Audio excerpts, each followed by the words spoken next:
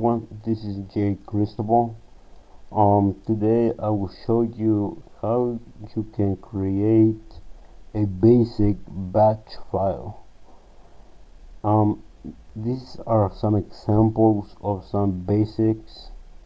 Um here's one with looping. Um as you guys can see that these words are repeating by itself this one it opens the command prompt. Um this opens the windows folder. And this opens this opens the web a website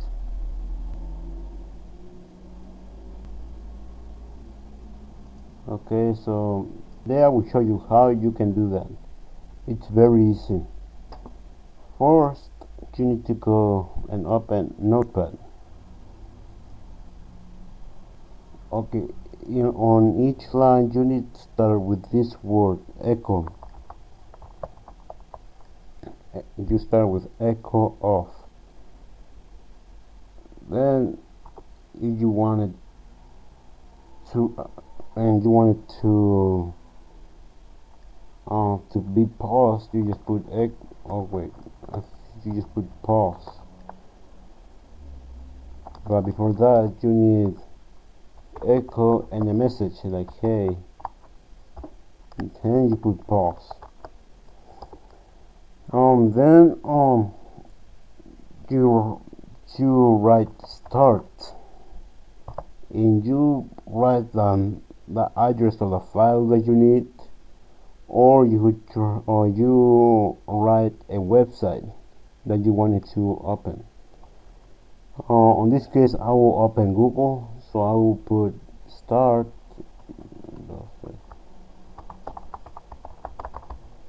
google.com uh, I think that will be it.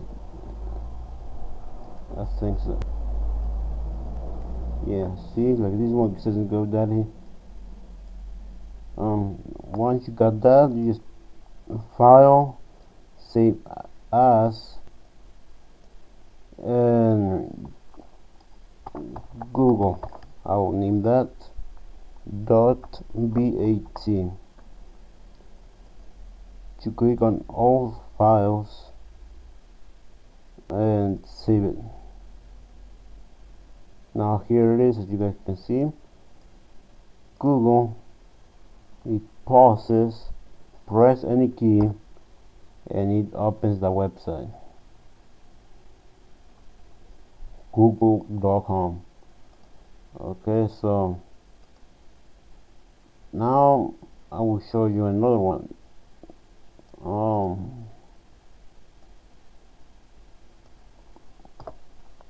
if you don't want it if you want it to run automatically you don't want it to pause you just write the echo off echo hey or whatever message you put and just write echo um um let me do google again one oh. And just save it see it automatically close the window. And it should automatically open the website which for some odd reason is not doing it. Oh that's why uh, whoops. Sorry guys I forgot. You read start. Then you click save. Okay. No wonder it is see you guys I did not have to press any key. It does it automatically. Uh, I think this is I think it's better it's much better to use it without the pause command. Now you guys wanted to you want a looping batch like this one. Uh, that's very easy. Use red echo let me show you an example how this thing is. See? After that I'll, you just put this symbol I don't know what it's called. Then you put any name you want. I'll put J Cristobal.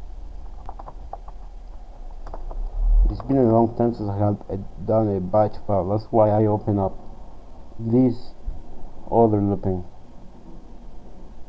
Um yeah um we just put echo test one well, test one echo test two echo test three etc etc and then you just go go to see it will it says go to and, and put this command it means that it will go back to this one and start all over again and come to here and repeat itself with non-stop and you just save it. And as you guys can see this is looping. Um yeah. So that's the basic way of creating a batch file. If you got any questions please submit them in the comment box below if this video was a really nice video that you guys enjoyed and learned something press click the like button. Thank you guys and see you on another time. And don't forget to subscribe and to follow me on twitter. Bye